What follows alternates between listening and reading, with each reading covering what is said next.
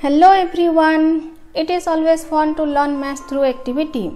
So today in this video we are going to prove exterior angle theorem with the help of an activity.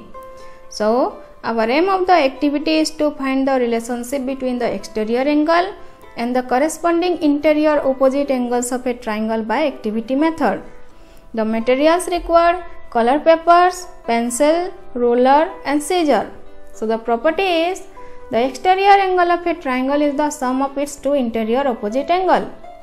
To prove this theorem, we first need to understand few concepts.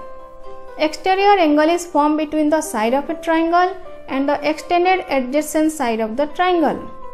In the triangle ABC, ACD is the exterior angle and angle A and B are its interior opposite angles. We need to prove angle ACD equals to angle A plus angle B. Now let's start the activity.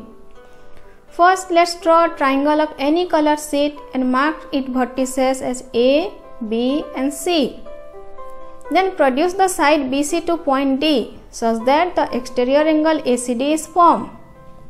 Now let's cut angle A from the triangle with the help of a scissor and place it on angle ACD. Same way cut angle B and arrange it on ACD in such a way that the vertices A and B falls on the vertex C.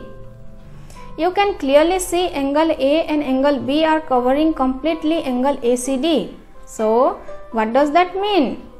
Means angle ACD equals to angle A plus angle B. From this activity, we can conclude that the exterior angle of a triangle is equals to the sum of its two interior opposite angles. I hope you must have enjoyed the videos. Thank you.